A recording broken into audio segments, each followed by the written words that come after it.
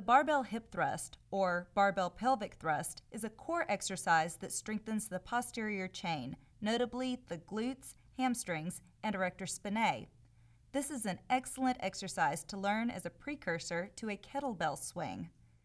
Position your body in supine position with shoulders on a weight bench. Bend your knees and place your feet hips width apart. Drop your sacrum towards the floor. Rest a barbell on your hips with an overhand grip. Lift your pelvis towards the ceiling and squeeze your glutes tightly.